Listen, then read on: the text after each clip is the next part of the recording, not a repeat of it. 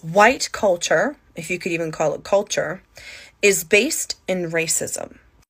It was a narrative created by colonizers, like my Portuguese ancestors, in order to justify what they were doing to other people on the continent of Africa and even here in North America.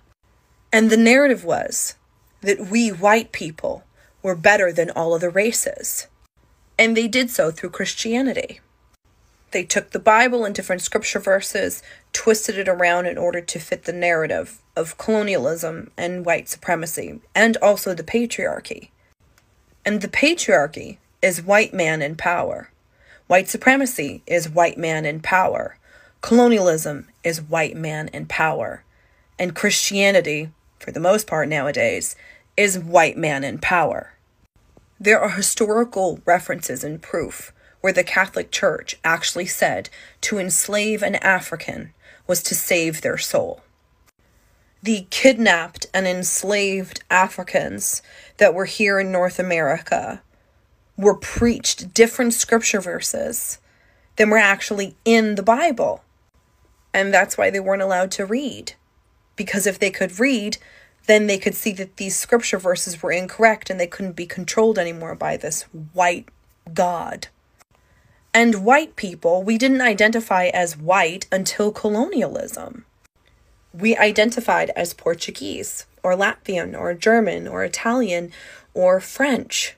But then colonialism came around, and then all of a sudden we became white and we were superior because we were the chosen race by God, and the scripture verses proved it. And we had to go into other people's lands and preach the gospel when really it was all a ruse. It was all an excuse to go in and rape and pillage the land and the people and the cultures. So when I say that white culture is based in racism, it's based in racism. Christianity was the Trojan horse of white supremacy and colonialism. And Western Christianity, as we know today, is still based within superiority.